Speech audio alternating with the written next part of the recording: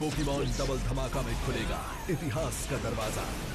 Lucario. देखो Pokemon movie Lucario की तूफानी शक्ति कल शाम साढ़े छह बजे सुपर हंगामा पर।